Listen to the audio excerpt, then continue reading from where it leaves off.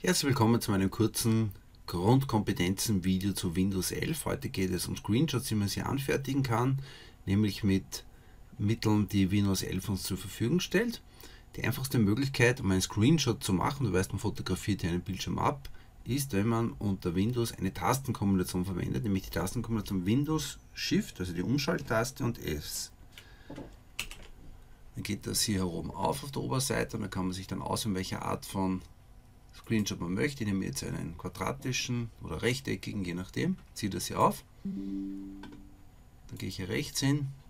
Da hat das hier und ich könnte das hier jetzt zum Beispiel weiter bearbeiten. Ich könnte hier noch einen Pfeil zeichnen und könnte das Ganze hier dann zum Beispiel auch schon speichern oder in die Zwischenablage gehen, damit ich in einem anderen Programm weiterarbeiten kann. Dass ich eine E-Mail zum Beispiel hineinkopieren könnte.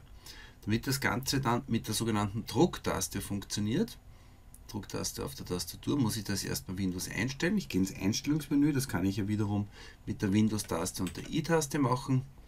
Es geht hier auf und dann gehe ich auf Barrierefreiheit, ist da hier unten, suche mir dann Tastatur,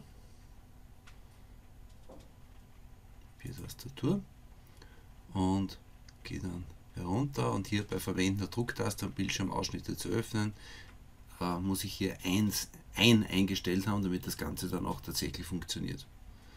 Ja, und wenn ich jetzt die Drucktaste drücke, geht dann ebenfalls dieses Menü auf und ich könnte jetzt hiervon zum Beispiel einen Screenshot machen. Das war's schon und wir sehen uns sicherlich wieder im nächsten Video.